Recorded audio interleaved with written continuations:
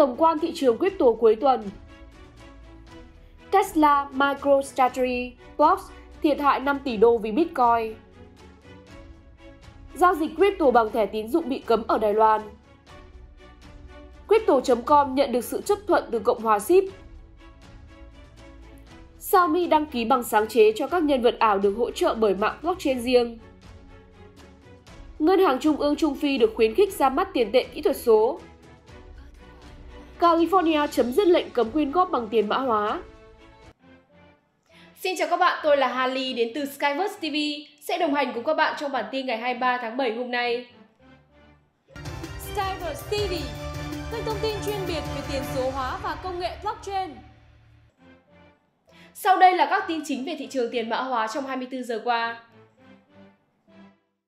Một tuần nữa lại trôi qua, hãy cùng Skyverse TV điểm lại dữ liệu tổng quan thị trường và phân tích chi tiết về tình hình xu hướng Bitcoin cũng như tình hình altcoin ngay sau đây. Lưu ý rằng, với nhận định xu hướng giá Bitcoin, giá nhận định chúng tôi đã nêu rõ vùng ngắn hạn và dài hạn. Với các vùng ngắn hạn là các khung biến động tăng giảm nhỏ nằm trong khung dài hạn. Đây chỉ là ý kiến chủ quan từ Skyverse TV. Quý nhà đầu tư hãy quan sát kỹ và tự chịu trách nhiệm cho mọi hành động mua bán của mình trong thị trường rủi ro này. Về xu hướng giá Bitcoin Giá Bitcoin tại thời điểm đưa tin đang ở quanh vùng 22.700 đô. Sau khi đạt giá cao nhất trong hơn một tháng qua, 24.200 đô, Bitcoin trong 3 ngày qua liên tục hình thành những cây nến đỏ. Bitcoin vẫn đang giao dịch quanh vùng 22.500 đến 23.000 đô. Ngày hôm qua, chúng tôi kỳ vọng Bitcoin sẽ hồi nhẹ lên lại vùng 25 đến 26.000 đô trước khi giảm trở lại. Tuy nhiên, volume giao dịch cuối tuần của Bitcoin hiện đang khá nhỏ, lực mua khá yếu để có thể tăng lên vùng này. Giá Bitcoin đang có xu hướng quay về test lại các mức cản đã phá qua trước đó, trong khoảng 22.400 đến 22.900 đô. Lưu ý rằng, xu hướng chung dài hạn của Bitcoin vẫn là xu hướng giảm. Các nhà đầu tư không nên kỳ vọng Bitcoin tăng giá quá nhiều, mà hãy theo sát kỹ từng tín hiệu của thị trường. Về tổng quan thị trường, tổng vốn hóa của toàn bộ thị trường tiền mã hóa đã quay trở lại mốc 1.010 tỷ đô, giảm 2%. Volume giao dịch trong 24 giờ đang ở quanh 70 tỷ đô. Chỉ số tham lam sợ hãi đã giảm về 31, giảm 2 điểm so với ngày hôm qua. Chỉ số Bitcoin Dominance tiếp tục giảm về quanh 42,92. Trong vòng 24 giờ vừa qua, có tổng cộng 204,9 triệu đô bị thanh lý bởi các lệnh long short. Về tình hình ăn coi Với những phục hồi của Bitcoin trong tuần vừa qua, các ăn coi trong top 100 đã tăng trưởng một cách mạnh mẽ. Top 5 đồng coi tăng mạnh nhất trong 7 ngày qua bao gồm ETC tăng 71,59%, Bitcoin Gold tăng 49,24%, LDO tăng 42,45%, APE tăng 39,56% và FTM tăng 32,19%. Các bạn hãy theo dõi Skyverse TV ngày hôm nay để cập nhật kịp thời các chỉ số thị trường crypto diễn ra hàng ngày. Tiếp theo là chương trình các tin tức nổi bật khác trong ngày.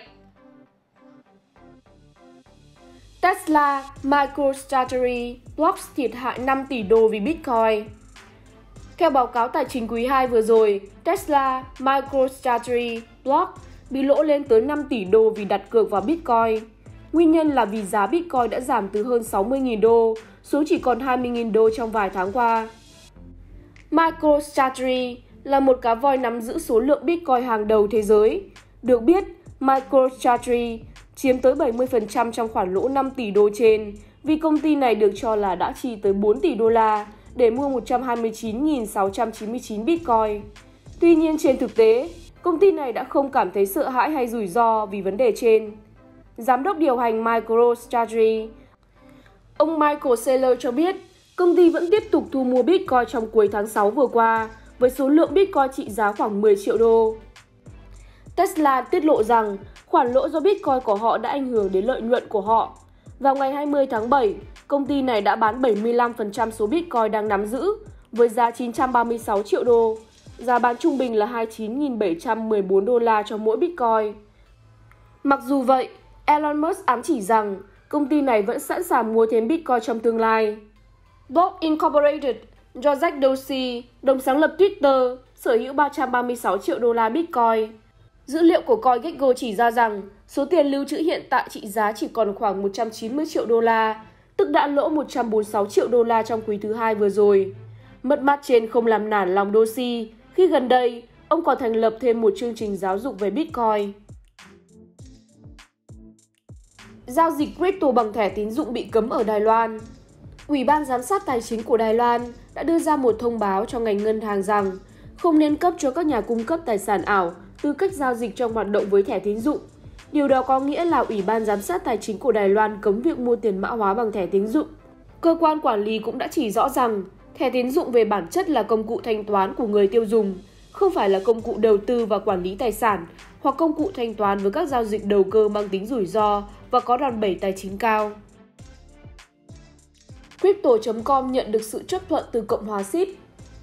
Sàn giao dịch tiền mã hóa có trụ sở tại Singapore, Crypto.com, tiếp tục được mở rộng phạm vi hoạt động khi công ty này chính thức được ủy quyền hoạt động tại SIP, theo quy định từ Ủy ban Chứng khoán và Giao dịch SIP.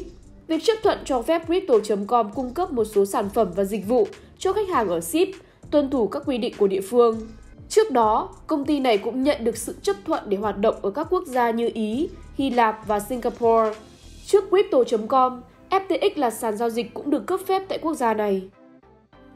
Xiaomi đăng ký bằng sáng chế cho các nhân vật ảo được hỗ trợ bởi mạng blockchain riêng. Xiaomi, một trong những công ty điện thoại di động và công nghệ lớn nhất trên thế giới, đã đăng ký bằng sáng chế cho một sản phẩm có tên là phương pháp xử lý nhân vật ảo, thiết bị và phương tiện lưu trữ nhằm ứng dụng công nghệ blockchain để tạo ra các nhân vật ảo của riêng mình. Cụ thể hơn, hồ sơ sáng chế đề cập rằng các nhân vật ảo của Xiaomi sẽ được tạo ngẫu nhiên hóa thông qua việc đưa vào một chuỗi gen chịu trách nhiệm xác định ngoại hình của nhân vật. Phương pháp này được phỏng đoán sẽ nhằm hỗ trợ Xiaomi tạo ra trải nghiệm metaverse của riêng mình trong tương lai. Ngân hàng các quốc gia Trung Phi đang được thúc đẩy ra mắt một loại tiền kỹ thuật số chung có thể được sử dụng trên 6 quốc gia thành viên bao gồm Cameroon, Gabon, Chad, Cộng hòa Congo, Guinea Xích Đạo và Cộng hòa Trung Phi. Hội đồng quản trị của ngân hàng này cho biết, việc sử dụng đồng tiền kỹ thuật số chung sẽ hiện đại hóa cách thức thanh toán và thúc đẩy sự hòa nhập tài chính trong khu vực các nước Trung Phi. Vào tháng 10, Nigeria, một quốc gia thuộc khu vực Tây Phi, đã chính thức ra mắt đồng tiền kỹ thuật số của ngân hàng trung ương có tên là Inaira. Điều này phần nào đã thúc đẩy cuộc thảo luận liên quan đến việc ra mắt tiền tệ kỹ thuật số giữa các quốc gia Trung Phi. Trước đó, vào tháng 4, Cộng hòa Trung Phi đã chấp nhận Bitcoin. Tuy nhiên, ngân hàng các quốc gia Trung Phi lại phản đối quyết định này. Họ cho rằng điều này không phù hợp với các hiệp định và công ước của Liên minh tiền tệ Trung Phi. California chấm dứt lệnh cấm quyên góp bằng tiền mã hóa sau khi cơ quan quản lý chiến dịch của California kết thúc lệnh cấm 4 năm với việc quyên góp bằng tiền mã hóa vào thứ năm sắp tới. Các chiến dịch tại tiểu bang này có thể sớm chấp nhận các khoản đóng góp dưới dạng tiền mã hóa. Ủy ban thực hành chính trị công bằng của California đã bỏ phiếu nhất trí hủy bỏ lệnh cấm quyên góp tiền mã hóa của tiểu bang, đồng thời cũng đưa ra các quy tắc mới về vấn đề chấp nhận các khoản tiền ấy. Các khoản đóng góp bắt buộc phải được xử lý bởi bên thứ ba có trụ sở tại Hoa Kỳ và phải đăng ký với mạng lưới thực thi tội phạm tài chính của kho bạc. Số tiền sẽ không được vượt qua giới hạn đã đặt ra và phải chuyển đổi ngay lập tức thành đô la Mỹ. Ngoài ra, danh tính của người thực hiện các khoản quyên góp phải được xác minh một cách rõ ràng. Nội dung vừa rồi đã khép lại chuyên mục bản tin ngày hôm nay. Cảm ơn các bạn đã dành thời gian theo dõi. Hãy nhấn like và subscribe để ủng hộ Skyverse TV.